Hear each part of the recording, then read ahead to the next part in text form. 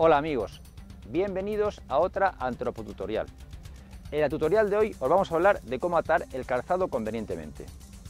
En la tutorial anterior os hablamos de cómo elegir la talla correctamente. Ahora vamos a hablaros de cómo atarla. Beneficios de atar un calzado correctamente. Adecuar la transpiración al momento, ya sea un ascenso o un descenso.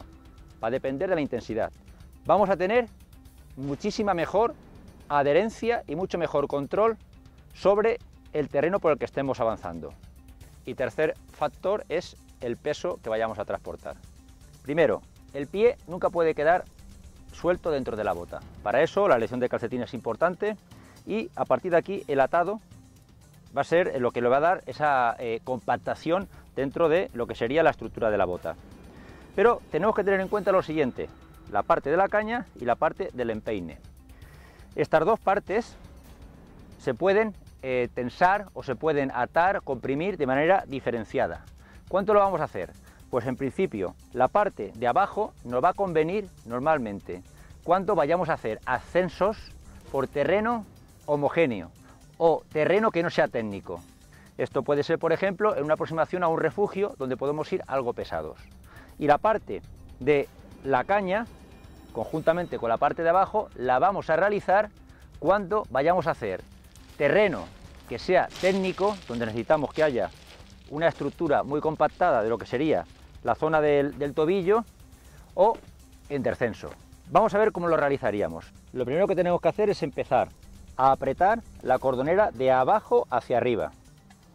Una vez conseguido un tensado homogéneo en toda la parte del empeine, bloquearemos el tensado sobre la primera hebilla bloqueadora. A partir de aquí, la diferencia viene en compactar o tensar la parte de la caña o dejarla algo suelta.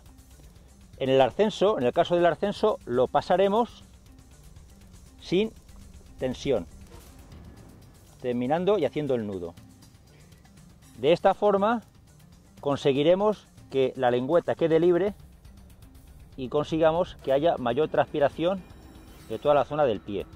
Pensar que en la subida siempre va a haber un gasto mucho mayor que en el descenso. A la hora de terreno técnico o descenso necesitaremos que nuestro tobillo esté bien cogido. Por lo tanto, a partir de la zona de bloqueo, tensaremos fuertemente.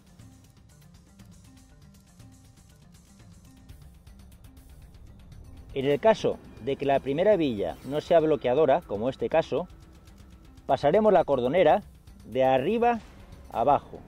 De esta forma podremos mantener una diferencia de tensión entre la parte inferior y la parte superior. Va a ser importante que nunca queden excesivamente largas las orejetas de las cordoneras. Por lo tanto, podremos meterlas por delante de las cordoneras para que no puedan engancharse a ramitas o cosas que puedan hacernos caer. Cosas que nunca deberemos hacer. Pasar la cordonera por detrás de nuestro talón. Esto lo único que hará será provocar lesiones en nuestro tendón de Aquiles. Y con esto terminamos. Nos vemos en la próxima tutorial. Ayúdanos a hacer las montañas más seguras.